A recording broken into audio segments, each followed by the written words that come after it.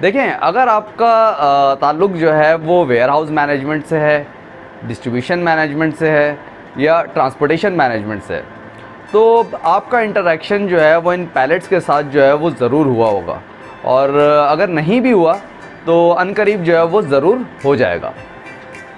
Pallets को जो है वो अमूमन जो है वो मटेरियल की स्टोरेज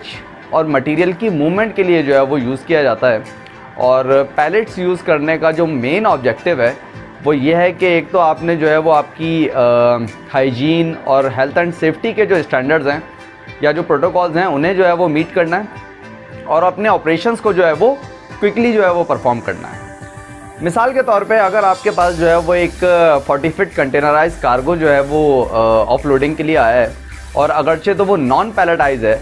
तो माइट भी आपको जो है वो six to seven head counts की ज़रूरत होगी जो कि उस कंटेनर की ऑफलोडिंग को जो है वो परफॉर्म करें। और अगर वही फोर्टी फिट कंटेनराइज कार्गो जो है वो पैलेटाइज है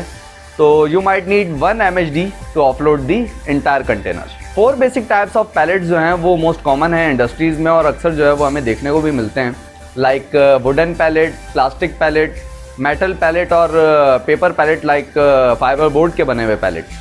अब आप या आपकी ऑर्गेनाइजेशन जो है, वो कौन सा पैलेट यूज़ करती है या कौन सा पैलेट यूज़ करना चाहती है? अगेन, ये डिपेंड करता है आपकी नेचर ऑफ़ प्रोडक्ट पे। फॉर एग्ज़ाम्पल के फ़ूड एंड बेवरेजेस जो है, मींस के फ़ूड एंड बेवरेजेस का जो सेक्टर है, वो मोस्टली वुडन और प्लास्टिक पैलेट जो है, वो यूज़ करता है। और वहीं जो है, कंस्ट्रक्शन सेक्टर जो है, वो अक्सर हमें जो है, वो मेटल के पैलेट जो है, वो यूज़ करता हुआ नज़र आता है। तो अगेन ये डिपेंड करता है आपकी नेचर ऑफ़ प्रोडक्ट पे कि आपकी रिक्वायरमेंट क्या है और उस हिसाब से जो है वो आप पैलेट चूज़ करते हैं।